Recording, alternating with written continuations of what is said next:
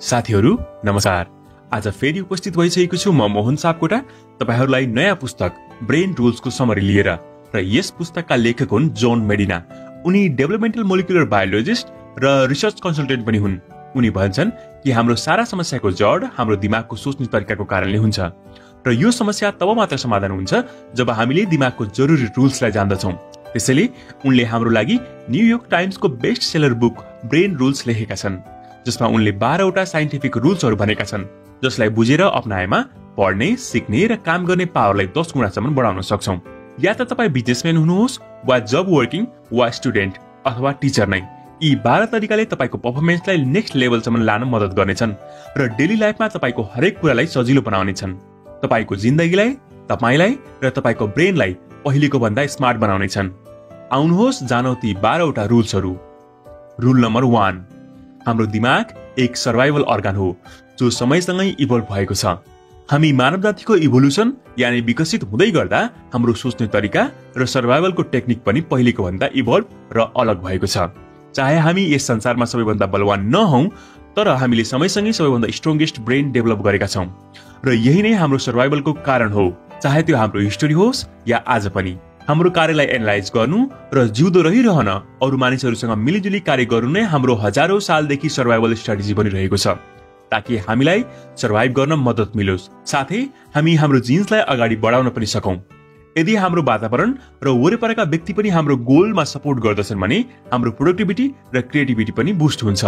तर यदि हाम्रो यो रिलेसन कनेक्सन र अन्डरस्ट्यान्डिङ अर्को व्यक्तिसँग ठिक छैन भने त्यो ग्रुप र इन्भाइरोमेन्ट हाम्रो ब्रेन र लाइफ दुवैलाई असर गर्दछ। यही कारणले हामीलाई समयभन्दा पहिले मृत्यु पनि आउन सक्दछ।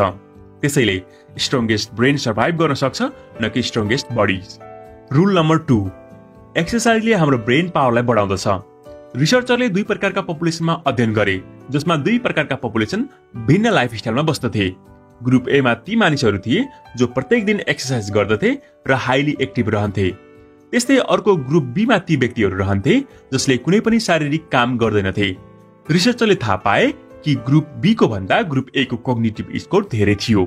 त्यसो त हाम्रो ब्रेन दैनिक उन्नाइस किलोमिटर दौडिनका लागि बनेको छ तर यदि हामी हप्तामा दुईदेखि तिन दिन तिस मिनटसम्म मात्र कुनै पनि फिजिकल एक्सर्साइज गर्छौँ भने हामीले आफ्नो दिमागलाई बढाएर सोच्ने र सिक्ने पावरलाई बढाउन सक्छौँ। किनकि एक्सर्साइजले ब्रेनमा ब्लड पुर्याउन मद्दत गर्छ। र त्यही ब्लडमा भएको ग्लुकोज इनर्जीले टक्सिक सेललाई नष्ट गर्ने कार्य गर्दछ ताकि अक्सिजनको फ्लोले हाम्रो ब्रेनबाट ब्रेन फग र थिङ्किङ ब्लक क्लियर गर्न सकुन्। साथै ब्रेनमा धेरैभन्दा धेरै रिसेप्टरले काम गर्न सकुन् जसले हाम्रो क्रिएटिभिटी र मेन्टल सार्पनेसलाई बढाउन मद्दत गरोस्। रुल नम्बर थ्री गुणस्तरीय निदले हाम्रो सोचलाई सही र प्रोडक्टिभ बनाउँछन्। प्रोपर निन्द्रा नमिल्नाले हाम्रो फोकस गर्ने क्षमता ब्रेन फङ्सन मेमोरी मुड साथै लोजिकल थिङ्किङलाई पनि समयसँगै ड्यामेज गर्दै जान्छ। एक अध्ययनमा यस्तो पनि पाइयो कि मात्र छब्बिस मिनट दिउँसोको न्याप लिँदा नासाका पाइलटको पर्फर्मेन्स चौतिस प्रतिशतसम्म बढेको थियो। यदि तपाईँ पनि दिनभर थाकेको जस्तो महसुस गर्नुहुन्छ या दिउँसोमा सुत्न मन लाग्छ भने यसो हुनु कमन हो। किनकि दिउँसो तीन बजेको आसपास दिमागमा बायोकेमिकलका बीच घम्सा घम्सी चलिरहेको हुन्छ जहाँ एकातर्फ सतर्क र जागा रहने कोसिस हुन्छ भने अर्कोतर्फ निदाउन मन लाग्छ। यस्तो बेला यदि पोसिबल हुन्छ भने केही समयको झप्की लिँदा राम्रो हुन्छ। पुस्तकका लेखक मेडिनाले भन्छन् कि खासमा हामी सुतेको बेला पनि हाम्रो दिमाग शान्त रहँदैन। त्यसले दिनभरका इन्फर्मेसनलाई प्रोसेस गर्दछ र त्यसबाट केही सार निकालिरहेको हुन्छ। हाम्रो लागि प्रोपर स्लिप र बेला बेला न्याप लिनु निकै आवश्यक हुन्छ। एक प्रोडक्टिभ माइन्ड बनाइराख्नका लागि। Rule number four. चिन्तित दिमागले हाम्रो लर्निङ एबिलिटी र दिमाग दुवैलाई ड्यामेज गर्दछ। हाम्रो दिमाग लगभग तिस सेकेन्डसम्म चल्ने स्ट्रेससँग जुझ्नका लागि बनेको छ। लामो समयसम्म चल्ने स्ट्रेसका लागि यसले धान्न सक्दैन किनकि धेरै चिन्ता लिँदा यसले हाम्रो दिमागको ब्लड भेसललाई खराब गर्दछ। साथै यसले मुटुसम्म पनि असर गरी हार्ट एट्याक समेत गराउन सक्छ। यदि हामीलाई घरमा क्लासमा वा जबमा कहीँ पनि दैनिक स्ट्रेस झेल्नु पर्छ भने यही स्ट्रेसले तपाईँको लाइफको सक्सेसलाई समेत असर गर्दछ। मतलब यदि तपाईँको घरको इन्भाइरोमेन्ट ठिक छैन भने त्यसको असर तपाईँको जागिर कक्षा वा अन्य कहीँ पनि असर पर्दछ। र तपाईँको पर्फर्मेन्स र प्रोडक्टिभिटीलाई खराब गर्दछ। किनकि स्ट्रेसमा कोर्टिसोल बढ्नाले दिमागको हिप्पो क्याम्पसको सेल ड्यामेज गर्न लाग्दछ जसले हाम्रो सही तरिकाले सोच्न र याद गर्ने एबिलिटी कमजोर हुन जान्छ।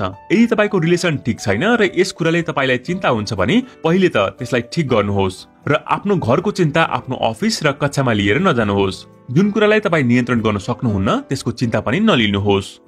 Rule number five every brain is wired differently प्रत्येक दिमाग फरक तरिकाले कार्य गर्दछन्। हामीलाई विद्यालयमा भनिएको हुन्छ कि हामीहरूको दिमाग एकै किसिमको हुन्छ। तर यो सूचना गलत हो। धेरै अनुसन्धान गरेपछि वैज्ञानिकले भने कि प्रत्येक मानिसको दिमागको संरचना भिन्न हुन्छ। हामीले आफ्नो दिमागलाई विकास त गर्न सक्छौ तर हाम्रो दिमाग अरूको जस्तो ठ्याक्कै हुन सक्दैन। यहाँसम्म कि जुम्लियाको पनि हुँदैन। दिमागको फरक संरचनाले हाम्रो शैक्षिक पद्धतिलाई इग्नोर गर्छ ग्रेड सिस्टमबाट जहाँ हाम्रो इन्टेलिजेन्सलाई हाम्रो टेस्ट र इक्जामको मार्क र पर्सेन्टेजले नापिएको हुन्छ।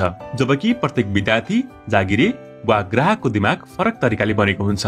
त्यसैले बिजनेस जस्तै एमाजोनले विश्वभरिका करोडौँ मानिसको इन्फर्मेसन र इन्ट्रेस्ट जानेर नै सक्सेसफुल कम्पनी बनेको छ। त्यसैले यदि हामीले एकपटक एमाजोनको वेबसाइटमा हेर्छौँ भने हाम्रा सारा सामाजिक सञ्जालमा देखिन थाल्दछ त्यही कुरा।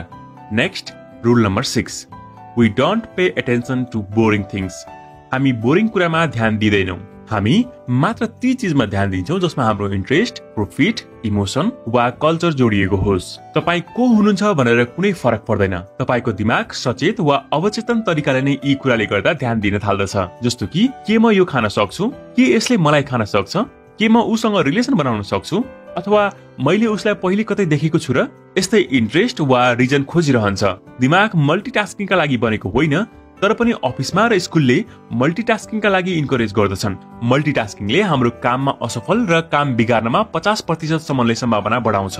Rule number seven repeat to remember हामीलाई कुनै पनि कुरा सिक्न वा याद गर्नका लागि इन्फर्मेसनलाई रिपिट गर्नुपर्ने आवश्यक हुन्छ। हाम्रो दिमागले केही केही इन्फर्मेसनलाई मात्र लामो समयसम्मका लागि स्टोर गरेर राख्दछ। बाँकी इम्पोर्टेन्ट नलागेका कुरालाई सर्ट टर्म मेमोरीले मेटाउन सुरु गर्दछ। त्यसैले भिजन बोर्ड रिटर्न गोल्स या रिमाइन्डर्स जरुरी छ हाम्रो दिमागलाई इम्पोर्टेन्ट कुराको याद गराइराख्नका लागि। यदि तपाईँलाई कुनै कुरालाई याद गर्नु छ भने या कुनै कुरा सिकेर त्यसैमा बेस्ट बन्नु छ भने त्यसलाई बेला बेलामा रिपिट गरिरहनुहोस् जसले गर्दा त्यसमा प्र्याक्टिस होस् र बार बार एउटै कुरामा ध्यान राख्न सकियोस्। रुल नम्बर एट हाम्रा सबै इन्द्रियले एकैपटक काम गर्दछन्। त्यसैले तिनको पूर्ण रूपमा सदुपयोग गर्नुपर्दछ। हाम्रो स्मेल गर्ने सेन्सले बटरी पपकर्न सुँग्दा सिधै मुभी थिएटरको याद गराउँछ। वर्षा वा फुलको बास्नाले कुनै व्यक्ति वा सिचुएसन वा ठाउँको याद गराउँछ। त्यसैले यदि तपाईँले पढ्ने बेला वा काम गर्ने बेला केही याद गर्नुपर्ने छ भने त्यसका साथमा बास्ना वा फ्रेग्रेन्सलाई जोड्न सक्नुहुन्छ। चाहे तपाईँको पर्फ्युम होस् वा रुम क्यान्डल तपाईँलाई जब पनि स्मेल आउँछ पहिले भएको इन्फर्मेसनको याद आउँछ। यसको चान्स दसदेखि लिएर पचास प्रतिशतसम्म हुन सक्छ। रुल नम्बर नाइन हाम्रो हेर्न सक्ने सेन्स अरू सबै सेन्स भन्दा धेरै हुन्छ। हामीले देखेको कुरा सुनेको वा पढेको भन्दा धेरै याद हुन्छ। जस्तो कि कुनै पुस्तक पढ्दा कहाँ के के भयो त्यो थाहा पाउँदैनौ तर त्यही उपन्यास वा बायोग्राफीको भिजुअल वा फिल्म भएमा एक एक सिक्वेन्स क्लियर तरिकाले याद रहिरहन्छ। किनकि हामीले हाम्रो इतिहासमा जनावर खाना खतरा अवस्था वा मानिसलाई देखेर जानेका हौ कि हाम्रो लागि के ठिक छ र के छैन? र त्यही भिजुअल पावरले त्यसलाई कला वा साहित्यको रूपमा राख्यौं ताकि हामीले ती कुरालाई भिजुअली याद राख्न सकौं। रुल नम्बर टेन सङ्गीतले हामीलाई स्मार्ट बनाउँदछ। डाक्टर मेडिनाको वाइफ पनि एक म्युजिक कम्पोजर हुन् र उनी जस्तै धेरै म्युजिसियनलाई मूल्याङ्कन र अध्ययन गरेर लेखकले के थाहा पाए भने हाम्रो सङ्गीत छनौटले हाम्रो व्यक्तित्वलाई झल्काउँदछ र म्युजिकले हाम्रो मेमोरी र स्किललाई सार्प पनि गर्दछ। म्युजिक कम्पोज गर्नु हाम्रो रिडिङ एबिलिटी म्याथ र इमोसनल इन्टेलिजेन्सलाई बढाउन सक्दछ। म्युजिक सुनेर हाम्रो मुड चेन्ज र भोकाबिलिटीलाई समेत इम्प्रुभ गर्न सकिन्छ। यो उमेर र इन्ट्रेस्टमा डिपेन्ड गर्दछ। Rule number eleven. Male and female brains are different. महिला र पुरुषको दिमाग एक आपसमा भिन्न हुन्छ। एकपटक रिसर्चर ल्यारी के हिलले महिला र पुरुष दुवैलाई डरलाग्दो फिल्म देखाए र उनले थाहा पाए कि पुरुषको राइट हेमिस्फियरले मात्र काम गरिरहेको पाए र लेफ्ट हिस्सा शान्त थियो। तर महिलाको लेफ्ट हेमिस्फियरले काम गर्दै थियो तर राइट हिस्सा शान्त थियो। यसबाट थाहा भयो कि मेल र फिमेलमा स्ट्रेस ह्यान्डल गर्ने सोच्ने र काम गर्ने तरिका एक आपसमा निकै फरक छ। र यस्तै धेरै केसको स्टडी गरेपछि मेन्टल हेल्थ प्रोफेसनललाई थाहा भयो कि फिमेल मेलभन्दा धेरै डिप्रेस्ड रहन्छन् र नर्भस रहन्छन्। पिबुटीको बेलामा धेरै तनाव महसुस फिल गर्दछन् तर केटा पिबुटीको बेलामा एन्टी सोसल हुन्छन्। मेल र फिमेलको इमोसन ह्यान्डल गर्ने तरिका पनि एक आपसमा भिन्न छ। रुल नम्बर टुवेल्भ हामी मानव जाति नेचुरल र पावरफुल एक्सप्लोरर्स हौ। जहिले पनि केही नयाँ खोज गर्ने इच्छाले हामीलाई कहिले पनि छोड्दैन। तर हामी मध्ये धेरै जसो अफिस र कक्षा कोठामा फसिरहेका छौँ। खासमा हामी नयाँ कुरा सिक्ने र खोज्ने प्रवृत्तिका हुन्छौँ। हामी बच्चा अवस्थामा यति क्युरियस हुन्छौँ कि प्रत्येक कुरालाई तोडेर खोलेर ती कसरी काम गर्दछन् त्यसभित्र के के छन् भनी जान्न मन लाग्दछ। तर त्यही कुरा उमेर बढ्दै जाँदा कम हुँदै जान्छ। गुगलले आफ्ना कामदारलाई जहिले पनि at least twenty percent time दिन्छ एक्सप्लोर गर्नका लागि र यही एक्सप्लोरेसनले गर्दा जिमेल र गुगल न्युज आइडियालाई इन्भेन्ट गर्यो। त्यसैले हामीले पनि बच्चाले जसरी नयाँ कुरा खोजी गरिरहनु पर्दछ जसले नयाँ आइडिया र ब्रेन ग्रोथलाई हेल्प गर्दछ। यसका साथै यो भिडियो यही अन्त हुन्छ। यदि तपाईँ कुनै खास टपिक वा बुकका बारेमा नयाँ भिडियो बनोस् भन्ने चाहनुहुन्छ भने कमेन्ट बक्समा लेख्नुहोस्। यो भिडियोलाई लाइक गरी यस च्यानललाई सब्सक्राइब गरिदिनु होला ताकि तपाईँको साथले गर्दा अझ धेरै र नयाँ भिडियो बनाउनमा हामीलाई हौसला मिलोस्। भिडियो हेरिदिनु भएकोमा धेरै धेरै धन्यवाद।